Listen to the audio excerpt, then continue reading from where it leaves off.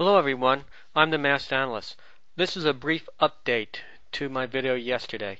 Yesterday I talked about receiving email from hosting-maduk.co.uk, uh, some threatening email saying that if I didn't get rid of my videos about inmendham, uh, someone would make life hell for me. Well, a friend of mine has done some investigating, and he believes that this computer is compromised. They probably don't even know. For all I know, they probably don't even know uh, that they're uh, sending out this email. Very possibly they have a Trojan on it. In any case, if uh, if any of you were thinking about investigating this, uh, be very careful about visiting their site. I wouldn't do it if I were you. Uh, so I thank this person who rather remain anonymous uh, for helping me out there. Also, I noticed some comments uh, on my last video. Some people seem to think that uh, Red Skull may be behind us.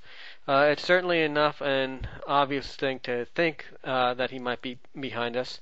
After all, he has made a veiled death threat against me oh about a year ago, and he's threatened some other people. He has indeed uh, spammed my my PM uh, YouTube PM system uh, about a year or, or, year and a half ago or so uh, using a sock account, um, and he did indeed get me uh, suspended by filing a false DMCA. However, however, I have reason to believe that uh, this might not be Red Skull at all. Uh, he has sent me a PM saying that it wasn't him, and I don't know who it is, but I do know that there are other people who may be in the mix who just might uh, try to mix things up, stir up the pot to see what sort of drama results from this.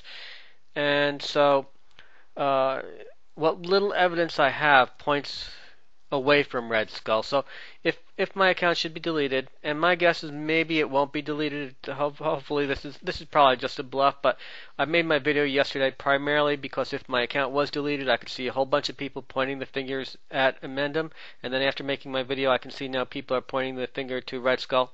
Um, in the in the chance that my account does get deleted, don't go harassing either of these guys. Uh, uh, especially not inmendham. I'm absolutely sure he's not involved. And right now, uh, Red Skull, you can't always believe him. I'll have to say that. Uh, but this time, I'm inclined to believe that he's telling the truth. So, so if if my account goes bye bye, uh, don't go hassling him. This has been the Masked Analyst, under and in.